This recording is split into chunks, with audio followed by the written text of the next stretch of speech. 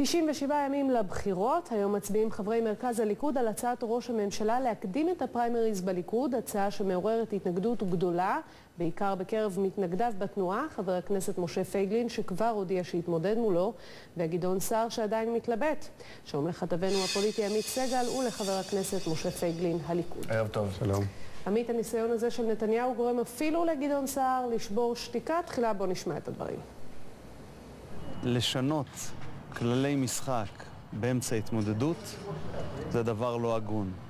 אין שום בעיה בתאריך המקורי שמרכז הליכוד החליט עליו שהבחירות יהיו בשישה בינואר. מספיק זמן עד הגשת רשימת המועמדים לכנסת.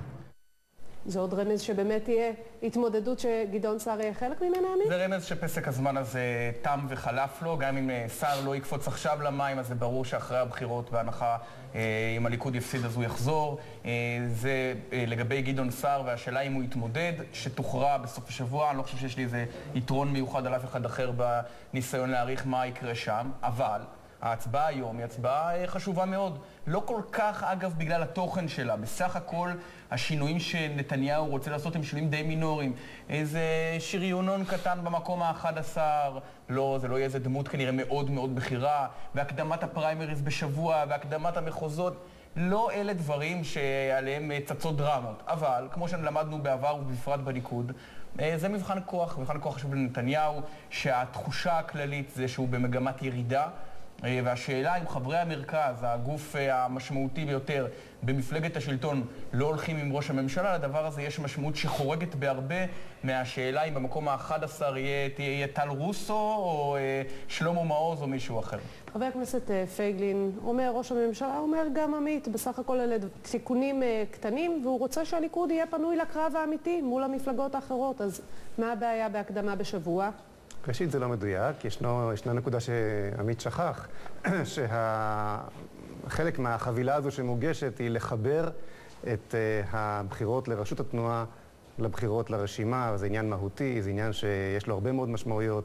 Uh, ואני לחלוטין מסכים עם, uh, עם גדעון. הגישה הזו שניתן לשנות את הכללים אחרי שהמשחק התחיל, בהתאם לאינטרסים של צד זה או אחר, היא גישה...